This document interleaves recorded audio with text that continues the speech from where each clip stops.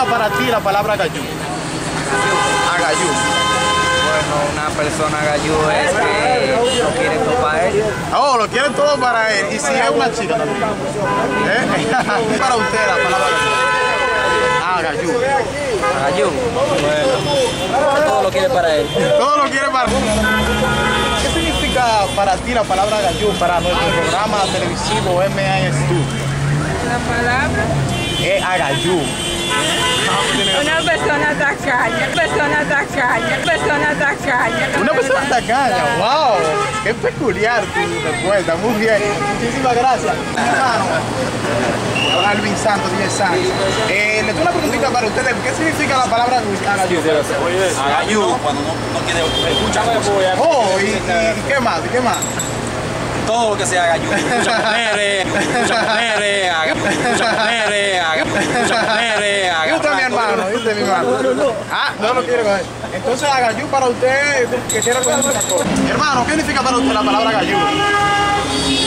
Agayú, la palabra agayú. Solo, eh, eh, Alguien quiere que quiere más de lo que tiene. que tiene más de lo que tiene. Y usted, mi hermano, ¿qué significa para ti la palabra agayú? Agayú. Agayú. pues. ¿Eh? ¿Eh? Para mí la palabra agayú no significa nada. La palabra Oh. significa una gente que lo quiere todo para él. Lo quiere todo para él. Oh, muchísimas gracias. Este, este tipo está la cosa. Hola, mi reina, dame un favor, dame un minuto. Dame un minuto. Hola, eh, ¿qué significa para ti la palabra gallú?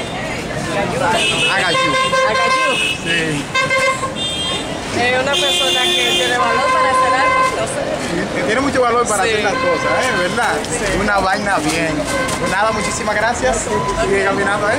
Bueno, mi gente, estamos aquí. Hola, hola, dame un minuto, por favor, mi reina. ¿Qué significa para ti la palabra gallú? Agayú. Agayú. Raro. Tú estás una, qué raro. Tú estás una. Tú estás una entrevista de Agayú. Sí, una, una pregunta para, para Que Agayú es como una persona como que quiere tener todo. todo para él, ¿verdad? No para él, para. Oye, pues ya sabes, ya está la cosa. Muchísimas gracias, mi amor. placer. Te agradece. Bueno, estamos aquí, señores, en el tipo de la Naboa. Bueno, mi hermano, ¿qué significa para ti la palabra gallú?